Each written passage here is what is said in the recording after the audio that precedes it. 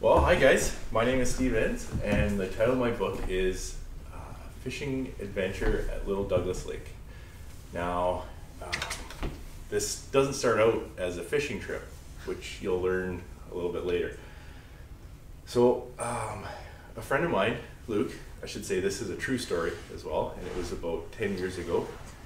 Um, a friend of mine, Luke, uh, we decided that we were going to go on this fishing trip, well, camping trip, a hike into Little Douglas Lake. Now, uh, Little Douglas Lake is, are you guys familiar with the Coquihalla? You guys know the highway? So it's about an hour up the Coquihalla, um, so we can drive in, and then it's about a half an hour hike. So uh, we left one Friday after work, and um, we packed all of our stuff. And anytime we go on a camping trip or a hiking trip, we always take. If something goes wrong, you want extra socks and boots and food and all that good stuff, right? So we packed everything we thought we would need. Um, we also had um, we had been into the lake before, so driving into the before we get to the part where we hike in, on the drive, um, quite often we'd see like a bear running across the road. Yeah. So Wow. yeah, we knew we knew there was bears in the area, and uh, um, but that's okay because we always carry bear spray. You guys know what bear spray is? Yeah. No.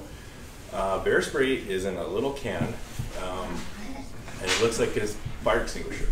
And so, when there's a cranky bear that doesn't want to let you by, you can give them a little shot of. It's just pepper spray, so it doesn't hurt the bear, nothing like that. Um, we also had. Um, I usually carried uh, a gun as well, and I had a, like, a little shotgun that straps to my backpack, as well as we had something called bear bangers, and it's a little pen that shoots a little, like a firework, but it just there's no lights. It just scares the bear away. So we had this. We had our food. We had first aid stuff, all that good stuff. Um, and we hiked into the lake. So we hiked in on uh, Friday afternoon. So we got at the lake in the evening, made a fire, set up the tent, all that good stuff, and uh, had dinner. And then the next morning, we got up, and uh, Luke made oatmeal. He loved to make oatmeal. You guys have oatmeal for breakfast? Yeah. Yeah. I do. Yeah. I don't like oatmeal. No? I don't like it. Yeah. well, Luke loved it. I'm not a big fan, but he made it and I ate it. And uh, so we were talking about what we were going to do. um, uh, we had the gun with us, so we thought it'd be fun to shoot the gun a few times. So we fired off the gun a few times. Uh, but we saved one bullet for the walkout, just thinking that, oh, in case we bump into a bear, we might want to have it. And so we uh, we then decide, oh, let's hike around the lake. Now, when you come into the lake, there's the the campsite is right at the one end. And if you picture the lake out here, there's a rock slide that comes down this side and a rock slide that comes down that side of the entire lake. The the far the back side of the lake is kind of flat and there's a kind of the end of the valley is like that. Now, if you guys ever get a chance, I'd say definitely recommend you go because there's in the springtime two waterfalls that come into the lake, and then there's a creek that goes in and a creek that comes out. So it's really nice, really pretty spot. So we thought, well, let's hike around the lake. So we left our camp, basically set up. We just took a few things in a backpack that we thought we might want on our hike around the lake. So we started hiking around the lake, and in the water, uh, we saw something. Like, you guys, can you guess what we saw in the water? Yeah. What did we see in the water? A bear. He he flew. We saw fish. Yeah, he Like, we saw hundreds of fish. Yeah. Like, there were little rainbow trout, and they were only like this long, and they were in schools. You know, like a school of fish, they swim together, right? So they're going back and forth, and we're like, oh, we don't have any fishing rods.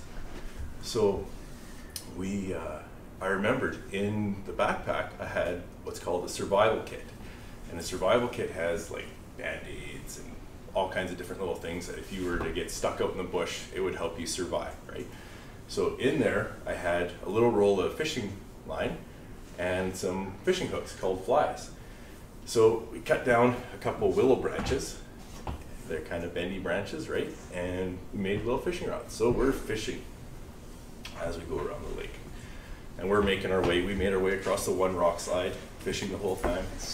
And then we went across the back where it was flat, right? And then we got onto the second rock slide. Now, the rock slides, it was kind of like shale, like rocks maybe about this big around, okay? We're making our way. It's kind of hard to walk on, right? And we're making our way around the lake, fishing, talking. We're quite a ways away, maybe the length of your classroom apart, yelling back and forth. And uh, we set the backpack down and everything, and fishing, and we heard something up above the rock in the trees. You could hear like the rocks rubbing together, crunk, crunk, crunk, crunk, crunk. So I thought, oh, that was weird. My friend Luke was further down; he didn't hear it yet, and uh, um, so I stopped fishing. I. Like, okay, that's kind of weird. We heard it again and again. And then Luke heard it, heard it, right? Did I get him? So he's over here, I'm over here, the backpack is over here, and whatever we can hear is up here. So we're thinking, it's probably Bigfoot. No. So- no. And so, well, we had a pretty good idea, like, this could be a bear. We don't know what it is, right? It's still up in the trees, it's in the bush. And so we're like, okay, well, the gun, the bear spray, the bear bangers, they're all 50 feet away from us over here, and he's up above it. So we quickly head over to the backpack, and we're standing there waiting. And we could hear hear this thing coming, moving, and then it stopped. And then all of a sudden, right through the trees, out of the bushes, pokes his head, and it was a bear. and so he just he poked his head out, and he's just checking us out. We're thinking, okay, this is no big deal. He doesn't seem to be angry or upset or threatening in, in any way. So we're like, okay, this is, I'd never tried the bear bangers before. So we're like, let's try these. It's just, it's all like, just like one of your little pens, it launches this little thing up, goes bang. Let's try this out. So just let them know that, hey, we want nothing to do with them, scare them off. So we fired the little bear banger and it goes off. Blood. Hey, no, no, no. It just it just makes a noise. It just goes bang, really loud. Yeah. And but so what happened is so if you picture the hill, okay, so there's the rock hill. So we're down at the bottom at the edge of the lake. He's up here, okay, and we fired this thing up, and then it went bang. Well, it would have went bang right in front of his face, like right across from him. Do you think he liked that? No, he did not like that. He was, I heard all kinds of noises coming out of that bear I had never heard before. It was growling and snorting and huffing and puffing. And uh, it was hard to say if he was uh, a big bear or a little bear. We just seen his little nose and head, face poke out. Yeah. He went back into the trees, okay? Yeah, baby. No. It, and he's making all these angry noises at us. We're like, okay, that's our cue to leave, right? So we we ditched our fishing rods, grabbed the backpack, bear spray and the gun, and we start making our way over the rocks. But Climb okay, the walk. over the rocks, yeah. And it was uh, Bigger. it was hard to walk on the rocks, right? Because they're shale and and so we're making our way around the lake. And what's the bear doing? He's following us in the up in the trees where the, the bush is, just above the rock. He's following us and we can hear him. And we'd stop. He would stop. Just huffing and puffing and growling and making all these noises and we're like, oh great.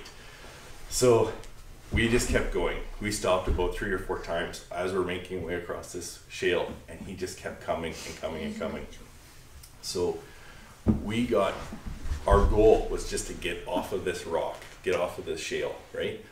And uh, there was a flatter, grassy area. We're gonna figure out what's going on then, and he's following us along. We make it off of the rock, and we're onto this flatter area.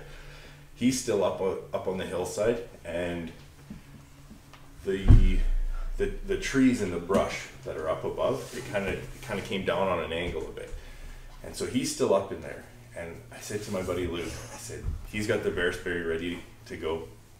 And I'm holding the gun, which has one bullet in it. And I said to Luke, I said, if he charges us, I said, we'll use the bear spray. And I said, I'm not gonna shoot until the very last second, right? Till, and so we're waiting there, seeing what's gonna happen. No sooner had I said that, the bear starts charging down at us. So he's coming down through the trees, through the bushes, and we still can't see him yet. We, the only time we saw him was his little face when he poked it out, right? Now, I don't know if you guys have seen Jurassic Park with the dinosaurs Yeah. running through the trees. No, because this is what it. This is that's the only thing I thought of.